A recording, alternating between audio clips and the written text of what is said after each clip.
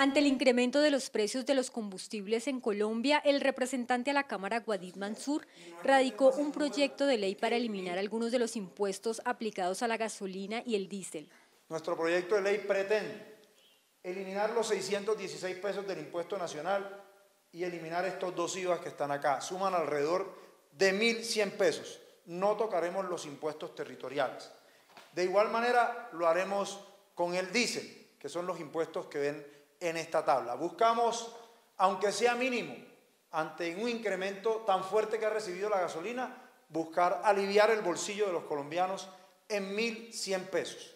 Con esta fórmula, según el congresista, se reduciría en 8.4% el precio por galón de la gasolina corriente y en un 10% el valor por galón de ACPM. El gobierno nacional debe darle aval a este proyecto de ley que tiene un impacto fiscal de 5 billones de pesos pero que en realidad para los incrementos que hoy está viviendo la gasolina no se va a sentir para nada en el fisco colombiano.